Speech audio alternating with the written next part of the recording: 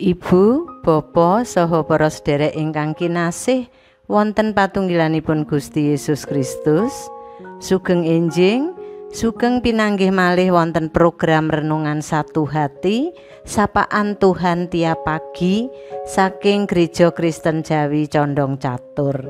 Ing dinten menika Setu kalih welas November tahun kalih ewu kalih likur mawi edisi Boso Jawi.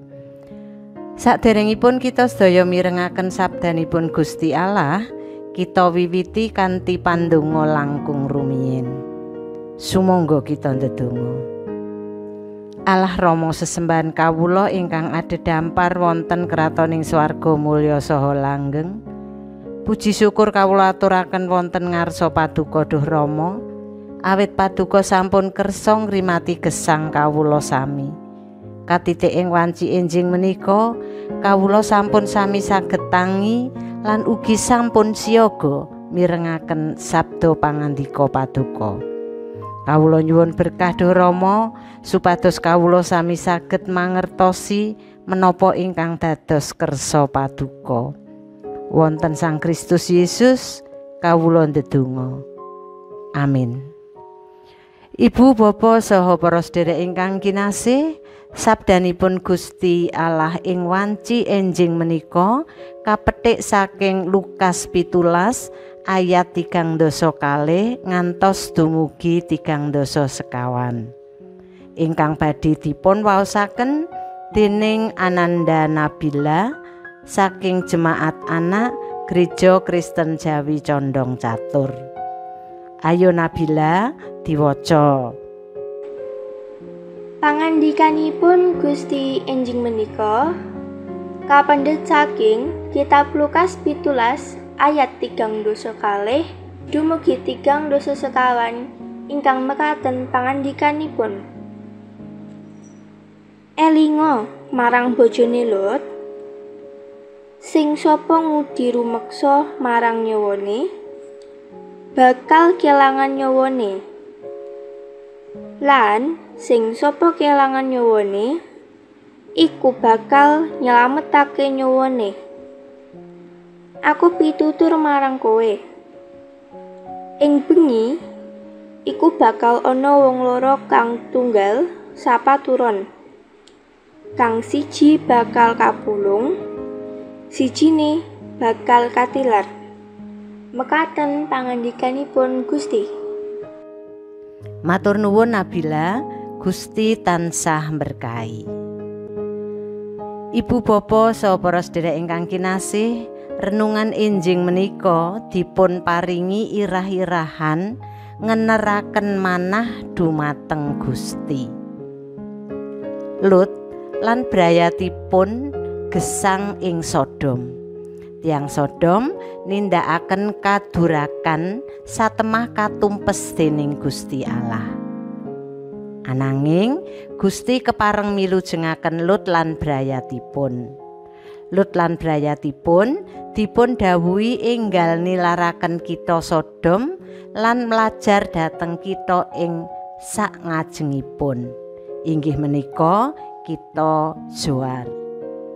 Lut lan brayatipun boten dipun parengaken tumoleh dhateng Sodom ananging semahipun Lut mandek lan tumuleh.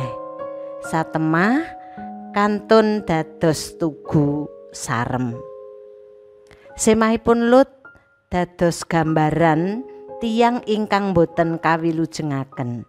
Awit tasih ngeneraken manah dateng gesang laminipun boten purun manut lan miturut pangandikanipun Gusti Allah Kita Sodom dados gambaraning jagat ingkang ugi badhe katumpes dening Gusti Allah awit kadurakaning manungsa.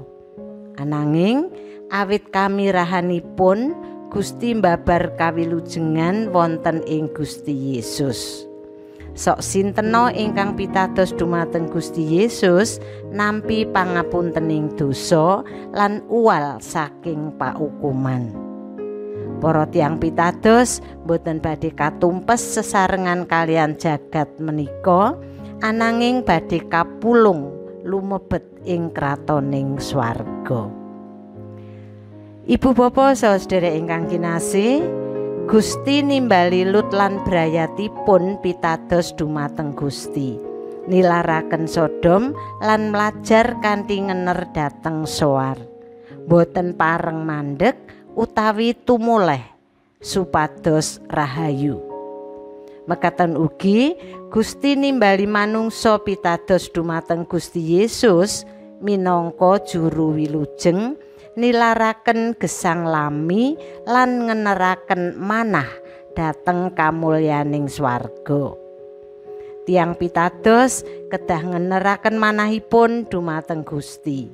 Boten rumaket malih kalian perkawis-perkawis kadonyan. Emanipun manungsa kecalan kawilujengan awit tasih ngeneraken manahipun dateng jagat menika. Manungsa tasih remen tumindak dosa. Muja hawa nafsu kadonyan. Gondeli badha ingkang boten langgeng ing jagat menika. Sumangga kita sedaya ngeneraken manah kita dumateng Gusti satemah kita kawilujengaken lumebet ing swarga. Amin. Ibu bapa saha sedherek ingkang kinasih wonten patunggilanipun Gusti Yesus Kristus. Sumangga sapaan Tuhan tiap pagi ing wanci enjing menika kita pungkasi kanthi pandonga. Kita ndedonga. Allah Rama kasuwargan, kepareng kawula marek malih wonten ngarsa paduka ngaturaken pamuji syukur lan pamatur nuwun Duh Rama. Dene paduka sampun kersa berkahi anggen kawula sami mirengaken wedaring sabda pangandika paduka. kangge landesan anggen kawula badhe ngayahi pakaryan kawula piyambak-piyambak ing dinten menika. Kawula tansah nyuwun berkah supados kawula sami saged nindakaken sabda pangandika paduka ing gesang kawula saben dintenipun. Sedaya atur panuwun, panyuwun lan pasambat kawula menika kawula aturaken linambaran rah pangorbananipun Gusti kawula Yesus Kristus. Amin.